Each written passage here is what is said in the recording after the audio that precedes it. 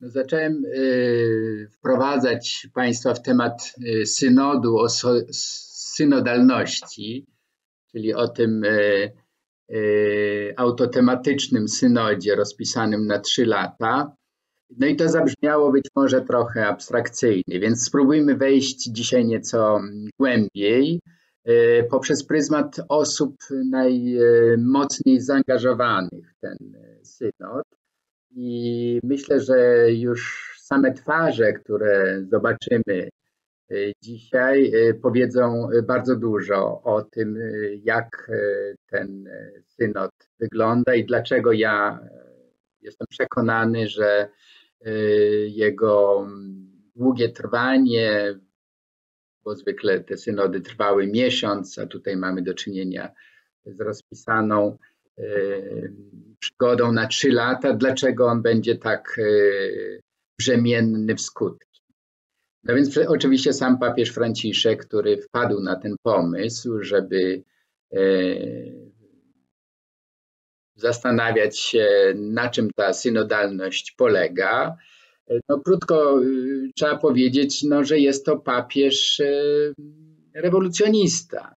Y, papież, który proponuje coś, czego nigdy w kościele nie było. Papież, który wyrósł z zupełnie od, odmiennego klimatu niż Europa.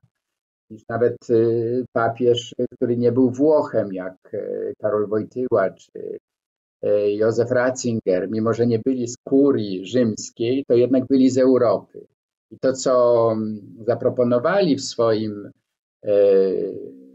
sposobie bycia papieżem, no to jednak była jakaś kontynuacja. Niezależnie od tego, już tutaj abstrahuję, czy to oceniamy mm, pozytywnie, z entuzjazmem, jak wielu Polaków e, patrzy na E, pontyfikat e, Jana Pawła II jako absolutnie coś wyjątkowego i nadzwyczajnego, a natomiast na pontyfikat Benedykta XVI z takim trochę mniejszym entuzjazmem, chociaż krytyki na pewno wiele w Polsce nie było.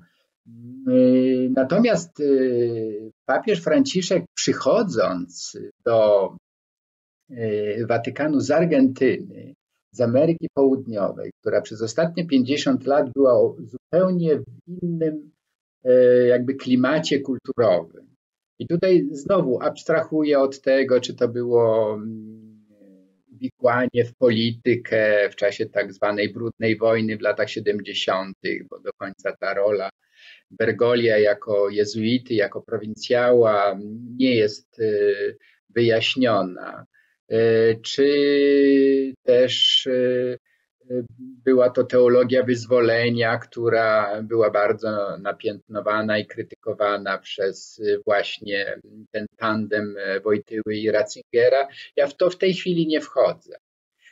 Chodzi mi tylko o to, żeby, żeby, żebyśmy sobie uzmysłowili, że od 2013 roku E, kieruje kościołem osoba, która wyrosła z kościoła dyskutującego, rozmawiającego, że wspólnoty, tak zwane wspólnoty podstawowe, one naprawdę e, kształtowały i kształtują te lokalne kościoły, czy to w Peru, w Chile, w Argentynie, w Kolumbii i tak dalej. I teraz, jak mówię, nie chodzi o to, czy to jest, czy jesteśmy za teologią wyzwolenia, czy przeciw. Chodzi o to, że ten proces jakby uzgadniania racji dokonuje się właśnie w takim, e, e, wokół okrągłego stołu, tak to, tak to powiedzmy. Więc niewątpliwie Franciszek chce, e, żeby ten rodzaj myślenia o Kościele, ten sposób przeżywania katolicyzmu, żeby stał się udziałem wszystkich. No więc Franciszek. Drugim przedstawicielem czy twarzą tego synodu o synodalności jest kardynał Jean-Claude Hollerich. Ważne, że on nie jest tylko kardynałem, ale ważne, że jest jezuitą, podobnie jak i Bergoglio. Więc prawdopodobnie tutaj jest ta wspólnota również doświadczeń zakonnych, a dla jezuitów Mówię to również z własnego doświadczenia, bo przeżyłem w tym zakonie prawie 30 lat. Tak podstawowym sposobem dochodzenia i znajdywania rozwiązań jest discernimento właśnie, czyli rozeznanie, szukanie, porównywanie i znowu prawdopodobnie ten Hollerich, kardynał Hollerich jest tą bratnią duszą dla e, Franciszka, który mm, e, jego właśnie wyznaczył na głowę tego, tego synodu. Drugim kardynałem jest y, Maltańczyk z kolei, Mario Grech. E, o Mario Grech e, mało wiemy, ale jest na pewno takim e, kardynałem, który słucha ludzi, który zmienia podglądy, który pod wpływem racji, jakich ludzie mu dostarczają. Tutaj zwłaszcza chodziło o jego stosunek do osób LGBTQ. Są y, świadectwa, matka, która właśnie poczuła się bardzo dotknięta jego komentarzem homofobicznym na temat osób homoseksualnych. Ona ma syna, który jest właśnie homoseksualistą i napisała list do Grecha. Mówi, jak on tak może i tak. I on ją zaprosił na rozmowę, rozmawiał z nią i pod wpływem tych rozmów zmienił zdanie. Potem w Rzymie również dał się poznać jako człowiek, który uważa, że homofobia to nie jest język, jakim Kościół powinien się posługiwać. Właśnie tego Grecha, tego e, biskupa mało znanego z maleńkiego kraju, jakim jest Malta, uczynił e, głównym sekretarzem e, tego synodu.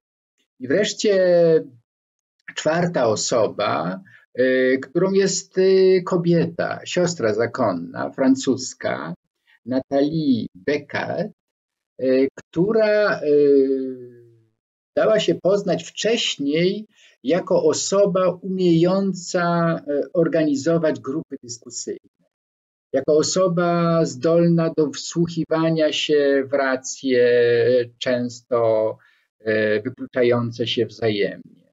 I właśnie papież Franciszek powołał po raz pierwszy kobietę po raz pierwszy ona nie jest biskupem, a ma głos y, równoważny głosowi kardynała czy biskupa na tym synodzie. Co więcej, właśnie ta e, siostra Natalii e, jakby reprezentuje sobą wiele osób świeckich, które również biorą e, udział w synodzie i również mają prawo głosu ze względu na to, że są ekspertami w jakiejś dziedzinie.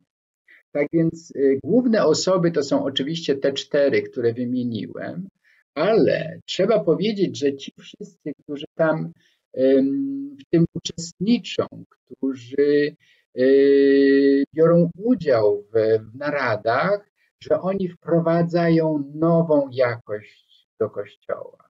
Że już nie tylko biskup, nie tylko kardynał, ale właśnie osoba świecka, która wnosi w te narady swoje doświadczenie życiowe. Także można powiedzieć, że te e, osoby, które się tam zebrały, reprezentują bardzo różne grupy w kościele z jednej strony, ale też mają świadomość, że ich głos jest na tyle ważny, że trzeba go mówić, trzeba go czasem e, przeciwstawić głosowi kardynała czy biskupa, który ma inne poglądy. Ale tu naprawdę nie chodzi o to, żeby się zwalczać, w tych dyskusjach, ale żeby szukać e, takiego rozwiązania, które pozwoli być e, katolikiem na równych prawach w krajach demokratycznych. I myślę, to jest to, co oznacza tą zmianę radykalną i rewolucyjną samego katolicyzmu.